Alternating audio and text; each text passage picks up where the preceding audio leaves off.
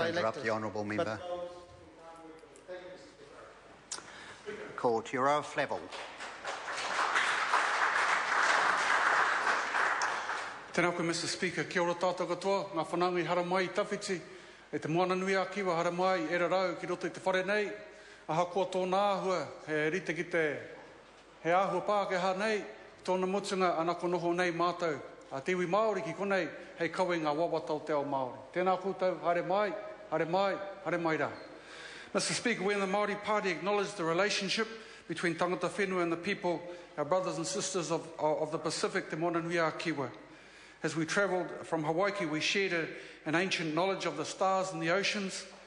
That knowledge is passed down to us to this day in our tukutuku panels which adorn the walls of our ka whare throughout the motu. Today, in this place, Mr. Speaker, we pay tribute to the rich oral traditions of our ancient navigators who guided us from the past to this future. From our whakapapa connections, our genealogical connections, we have an obligation to support the well-being of our brothers and sisters in the Pacific as Māori. As our closest neighbours, our security, stability, prosperity is closely linked. On a personal level, our people interact every day and must unite to face the challenges that we all experience. We say that the strength of Māori and Pacifica peoples lies in our ainga, our whānau, our communities who pull together to bring change for ourselves. Our key priority, whānau ora, has been described by our Pacifica relations, our Pacifica whanaunga, as restoring the role of the village.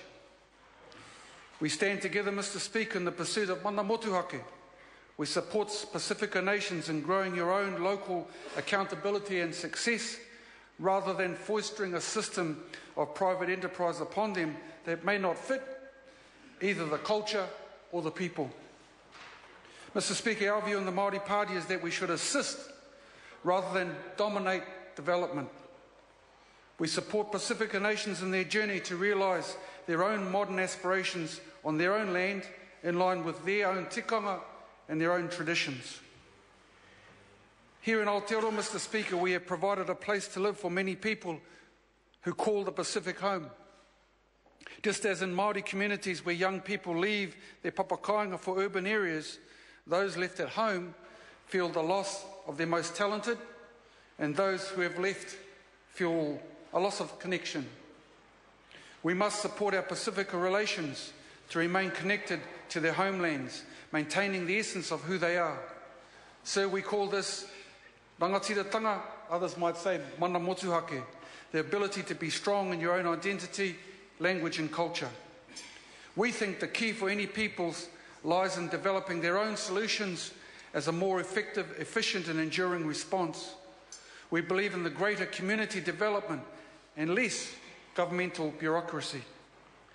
Mr Speaker, the focus of the Māori Party is to bring to fruition the aspirations of New Zealanders through self-determination, kaupapa tuku iho and a commitment to the Treaty of Waitangi.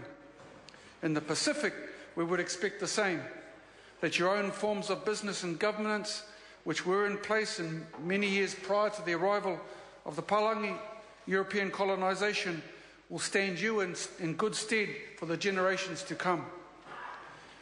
It's wonderful to have you all here, our relations, and I want to finish by paying tribute to all of the Pacifica's brothers and sisters who have stood by Māori with the Land March of 1975, the Hikoi of 2004, and in our mutual desire to honour the Treaty of Waitangi.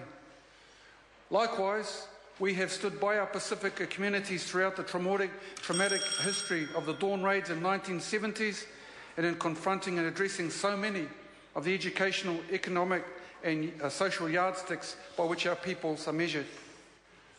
Tangata Pacifica and Tangata Whenua have always shared a common bond in our connections through our ancestry, our culture and our customs. We both understand implicitly concepts which run to the core of our being.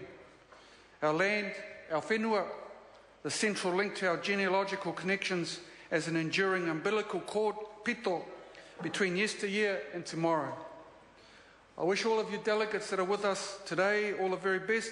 I look forward to the continuing dialogue that is so vital to our ongoing relationships with one another. In closing, Mr Speaker, I listened earlier and noted that some of, some of the parties have been pitching, uh, are pitching to you as our visitors for their vote. I will not do that. Myself, Mr Speaker, suffice to say that which of these words sounds sweeter to you, my Pacific brothers and sisters? Which words sound sweeter, look sweeter, and maybe even smell sweeter? New Zealand first, Labour, National, or Maori? Kia ora tātou Thank the member. Have a good conference. I call the Honourable John Banks. Mr Speaker, much of this debate has been about New Zealand's relationship